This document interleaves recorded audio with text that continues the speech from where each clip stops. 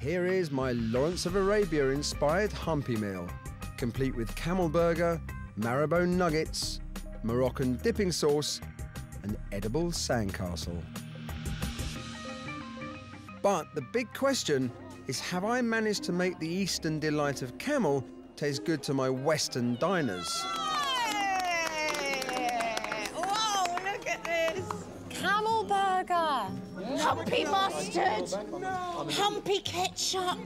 Look, humpy nuggets. Oh!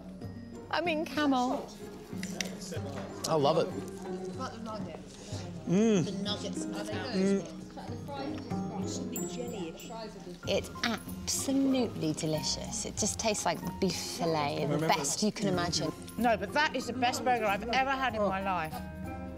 The taste is fantastic. I think Lawrence of Arabia famously um, uh, didn't care a damn what he ate, and ate, ate some uh, particularly appalling things. Uh, and if Lawrence of Arabia had had this stuff, they would probably have destroyed his career. You know, he'd have had other things to do with his life.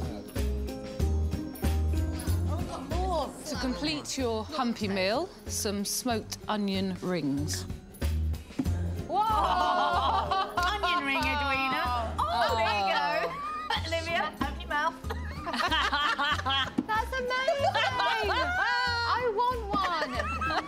want one. brilliant. It's fun, you know, and I have felt seven years old from the minute I got here tonight. Seven years old. I'm, I'm going to treasure this. When they find me in years to come in my grave, I'm going to have my humpy. I'm going to have my humpy box. So, my Lawrence of Arabia humpy meal has worked well.